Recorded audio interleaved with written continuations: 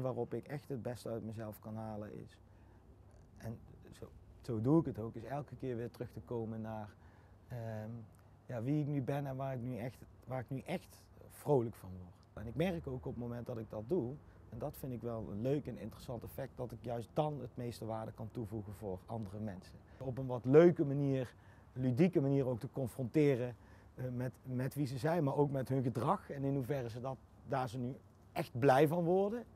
Of dat het juist iets is wat in de loop der jaren geconditioneerd is met alle plussen daaraan, maar ook alle minnen daaraan. Mensen die, die een ervaring eh, bij mij bijgewoond hebben, dat die wanneer ze naar huis toe gaan, zoiets hebben. Uh,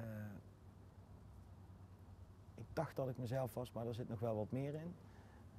En ik voel nu ook dat ik het, dat ik het durf en, en, en mag te zijn. En dat ik daar dan een hele kleine bijdrage aan heb gehad.